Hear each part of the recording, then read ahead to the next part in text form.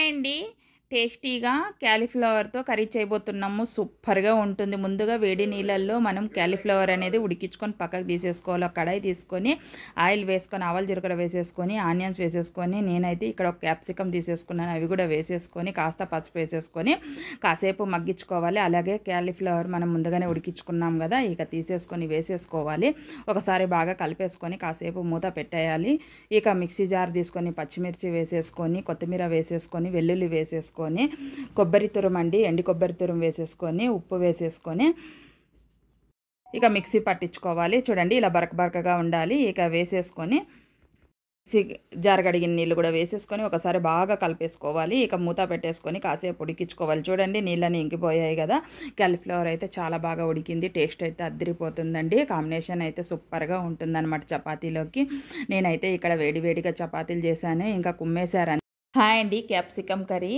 ఎలా చేసుకోవాలనేది ఈ వీడియోలో చూసేయండి. పల్లీలు ఎండు కొబ్బరి అనాస పువ్వు చెక్క లవంగా అన్నీ వేసుకొని వేయించుకోవాలి. ఓ మిక్సీ జార్ తీసుకొని అన్నీ వేసేసుకోవాలి. అలాగే రెండు వీలాచి వేసేసుకోవాలి. అలాగే వెల్లుల్లి వేసుకొని హాఫ్ టేబుల్ స్పూన్ ధనియా పౌడరు చిటికెడు పసుపు ఒకటి ఒకటిన్నర tablespoon red chilli powder వేసేసుకొని ఇలా కొన్ని నీళ్ళు వేసుకొని మిక్సీ పట్టించుకోవాలి. ఇక చూడండి ఈ క్యాప్సికమ్ బాగా కడిగేసి ఇలా వేసేసుకోవాలి కట్ చేసుకొని. మసాలా అంతా నింపేసాం కదా. ఇక ఓ ప్యాన్ పెట్టుకొని ఆయిల్ వేసుకొని ఆనియన్స్ వేసేసుకోవాలి. కాస్త ద్వారాగా అయిన తర్వాత టమాటా ముక్కలు వేసేసుకొని బాగా కలుపుకోవాలి. మగ్గిన తర్వాత ఇక క్యాప్సికమ్ అన్నీ నింపి పెట్టుకున్నాం కదా ఇంకా ఇలా పెట్టేసుకోవాలి.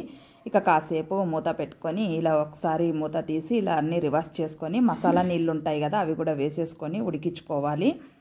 వేడి వేడి అన్నంలో వేసుకొని తింటే హాయ్ అండి. ఆనియన్స్ ఫ్రై ఎలా చేసేసుకోవాలో ఈ వీడియోలో చూసేయండి ఫ్రెండ్స్. చాలా టేస్టీగా చాలా బాగుంటుంది. సూపర్గా ఉంటుంది.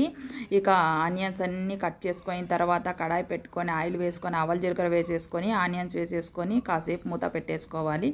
ఇక మూత తీద్దాం. కాస్త మగ్గినాయి కదా. ఇక కారము ఉప్పు పసుపు వేసేసుకొని ఇక బాగా కలుపుకోవాలి ఒకసారి. ఇక కాసేపు మరి మూత పెట్టేయాలి. ఇక మూత తీద్దాం. చూడండి మగ్గిపోయాయి కదా కాస్త. ఇక వెల్లుల్లి వేసుకొని బాగా కలుపుకోవాలి. చూడండి ఆనియన్స్ ఫ్రై అయితే రెడీ అయిపోయింది. చాలా అంటే చాలా టేస్టీగా చాలా బాగుంటుంది. ఇక దీంట్లోకి అయితే బీరకాయ బజ్జీలు చేశాను. సూపర్గా ఉంటాయన్నమాట. హాయ్ అండి. పనస గింజలతో ఇలా ఎప్పుడైనా ఇలా వేయించుకొని తిన్నారా? చిన్నప్పుడు జ్ఞాపకాలన్నీ వస్తున్నాయి కదా. ఇలా చిన్నప్పుడైతే పండ్ల కింద ఇలా గింజలే మేము ఎక్కువగా నిప్పల మీద అప్పుడు కట్టెల పొయ్యి ఉండేది.